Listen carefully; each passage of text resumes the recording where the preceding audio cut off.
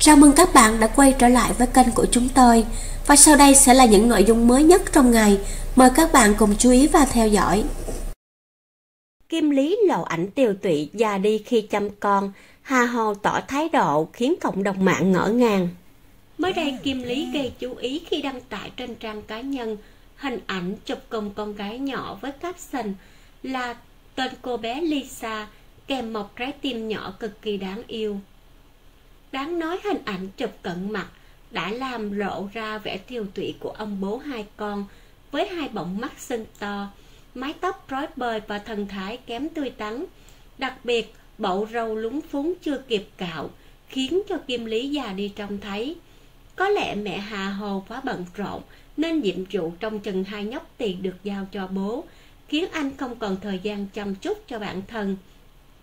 Dù vậy không thể phủ nhận, đường nét trên khuôn mặt ông xã nữ hoàng giải trí vô cùng cuốn hút và nam tính, thân hình rắn chắc cân đối, khiến cho tổng thể trở nên quá hoàn hảo.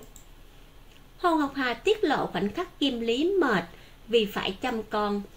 Từ khi hai nhóc tỳ được sinh ra, Kim Lý thường xuyên xuất hiện với hình ảnh chăm con cực kỳ hài hước. Vào sáng ngày 20 tháng 3, vợ chồng Hồ Ngọc Hà đưa hai con đi tiêm phòng và Kim Lý nhắm mắt nghỉ ngơi trong lúc chờ đợi vì mệt. Lần này Lisa Leon cùng tim nên cả bố mẹ phải cùng đưa đi.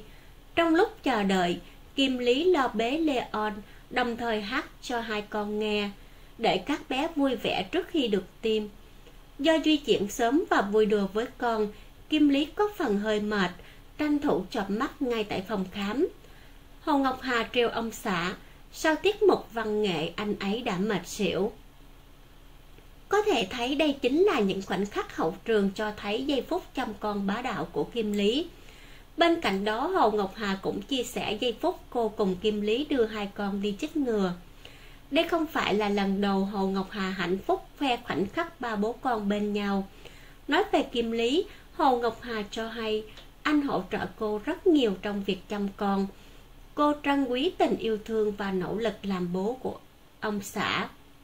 Là đàn ông, anh Kim Lý không thể thuần thục chăm sóc con cái giống phụ nữ, nhưng anh luôn cố gắng phụ giúp chăm con như thầy tả ru con ngủ, cô kể.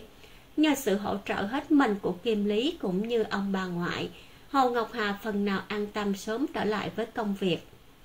Đứng trước giây phút ngộ nghĩnh này của chồng, Hồ Ngọc Hà chỉ biết nói, tớ rất là nhức đầu nhé.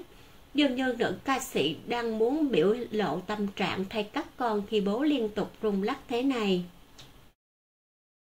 Bản tin của chúng tôi đến đây đã kết thúc. Cảm ơn các bạn đã quan tâm và theo dõi. Hẹn gặp lại các bạn ở những bản tin tiếp theo.